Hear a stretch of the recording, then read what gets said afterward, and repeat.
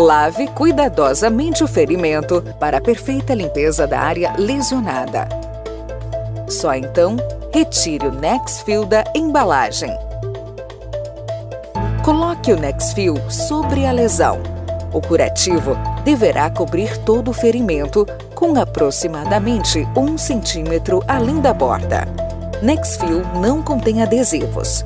Para obter perfeita aderência à lesão, remova eventuais bolhas de ar através de suave compressão com gás umedecida.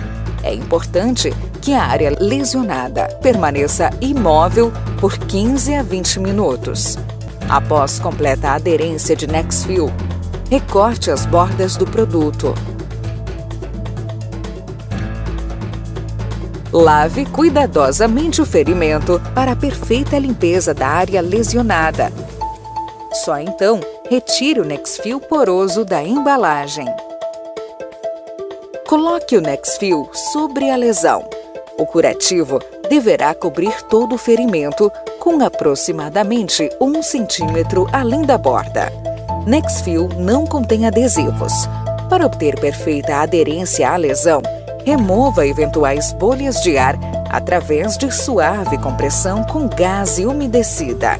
É importante que a área lesionada permaneça imóvel por 15 a 20 minutos. Após completa aderência de Nexfil, recorte as bordas do produto. Coloque uma gaze esterilizada sobre o curativo.